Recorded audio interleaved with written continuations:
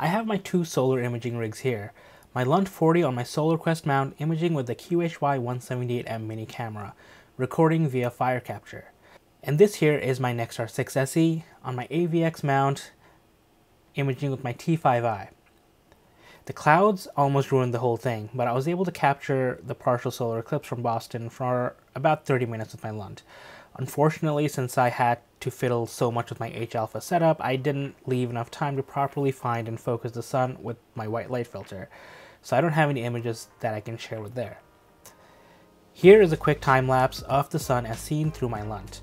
You can see the clouds going by. The varying thickness of the clouds made it really difficult to get surface details of the sun, but when the clouds thinned out more, I was able to adjust the settings and the rest of the time lapse shows quite a bit of detail in hydrogen alpha, although it's not perfect.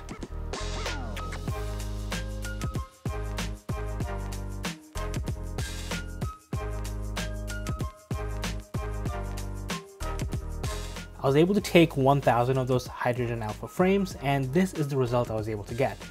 I didn't think that I was going to get anything so I'm really happy with the result.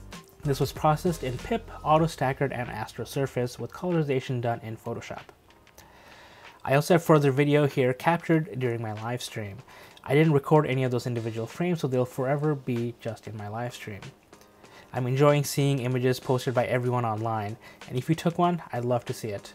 I cannot wait for the next eclipse.